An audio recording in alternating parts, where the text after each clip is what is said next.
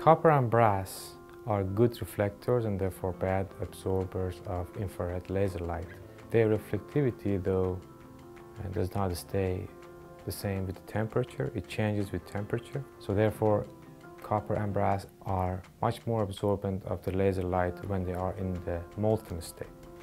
So with the right choice of the laser, optical setup, and process parameters, you can quickly melt the surface of these metals and prevent the excessive amount of laser light back reflected and not being absorbed. Fiber lasers create really high power density on the surface of these reflective metals. The high power density causes rapid melting of the surface of these materials and therefore the process can quickly overcome the uh, reflectivity barriers and start a stable cutting process. At the piercing stage, the focus is on the surface. A full 3 kilowatt peak power in the pulse mode, about 100 hertz.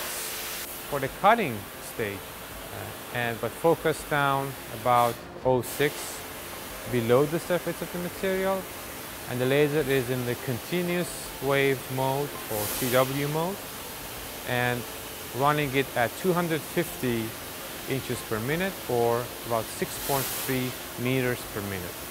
As you see, uh, there is a, a little bit dark edge because of the using oxygen as the gas and there shouldn't be significant dross. In the piercing stage, the material is escapes the surface in a particulate form and the laser is in the pulse mode and drills through the thickness of the material and then it transitions to cutting.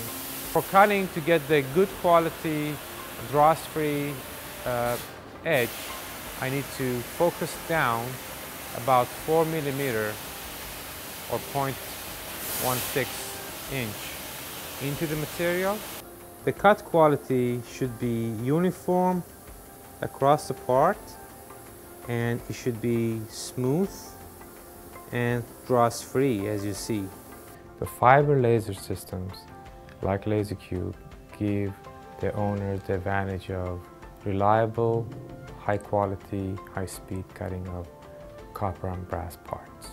If customers would like more information about the LaserCube or any of our other products, they can go to our website, ipgphotonics.com.